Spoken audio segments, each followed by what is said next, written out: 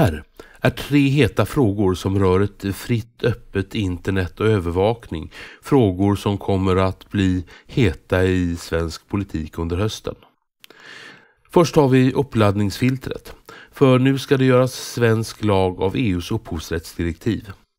Bland annat så kommer man då att bestämma hur eh, upphovsrättsdirektivets artikel 13, som numera heter artikel 17, kommer att se ut. Den handlar om att nätplattformarna kommer att hållas ansvariga för om deras användare laddar upp upphovsrättsskyddat innehåll. Och det här, det kommer förmodligen att eh, innebära att allt som laddas upp måste filtreras, granskas och i förekommande fall censureras. Regeringen, den tänker inte ens utreda frågan utan istället låta justitiedepartementet skriva en egen promemoria. Och en proposition väntas till riksdagen senast nästa sommar. Nu, nu gäller det att få den riksdagsmajoritet som sa nej till uppladdningsfilter under EU-valrörelsen att stå fast vid detta nej. Nästa punkt är datalagringen. I eh, slutet av våren så lagstiftade riksdagen på nytt om datalagring i Sverige. Detta trots att EU-domstolen har ogiltigförklarat EUs datalagringsdirektiv och redan sagt att Sverige inte får ägna sig åt svepande datalagring av allas telekommunikationer och nätuppkopplingar utan misstanke om brott.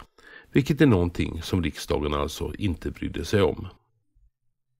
Nu gäller det dels att se om det går att få den nya lagen ogiltigförklarad. Därefter som den fortfarande strider mot EU-domstolens beslut och dels att noga bevaka hur lagen kommer att utformas och användas så att den inte missbrukas. Den tredje punkten, det är hemlig dataavläsning. Och inom kort så kommer regeringen att lägga fram sin proposition om just hemlig dataavläsning. Tanken den är att staten ska kunna använda spionprogram för att få tillgång till allt som finns och allt som sker på eh, människors datorer, smartphones och plattor. Förutom att eh, detta är ett allvarligt intrång i den personliga integriteten så riskerar statliga spionprogram att göra våra datorer sårbara för angrepp även från kriminella och från främmande makt. Här står kampen mot en massiv majoritet i riksdagen. En majoritet som vill ge staten tillgång till detta verktyg, till denna hemliga dataavläsning. Och det är oklart om förslaget går att stoppa. Men det går ändå att bilda opinion för att förklara vad som är problematiskt med det. Och det gäller att hålla ett öga på hur förslaget utformas så att det inte blir onödigt tekniskt osäkert eller rättsosäkert.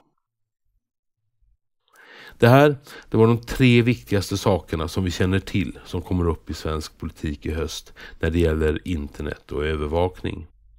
Men det finns samtidigt mycket annat att hålla ögonen på både i svensk politik och i EU. Och du, du följer utvecklingen på 5juli.se.